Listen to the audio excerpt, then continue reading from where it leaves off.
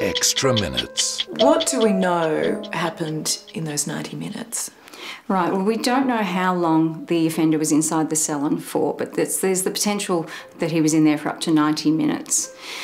And in that time, it appears that Mrs. Acox and Mrs. Penny were tied to chairs in the shampoo room with electrical cord. Um, from the autopsy report, it indicates that both women were stabbed repeatedly. Two weapons were believed to have been used a knife and a thin pointed instrument, either um, a tail comb, which was the type of comb used in the salon, which had a thin metal handle, or a, a knitting needle. And their bodies were discovered on the floor of the shampoo room, side by side, head to toe and their heads had been covered with hairdressing wraps. When you talk about that level of violence, does it suggest that it was perhaps personal? Mrs. Acox and Mrs. Penny were attacked differently in some respects.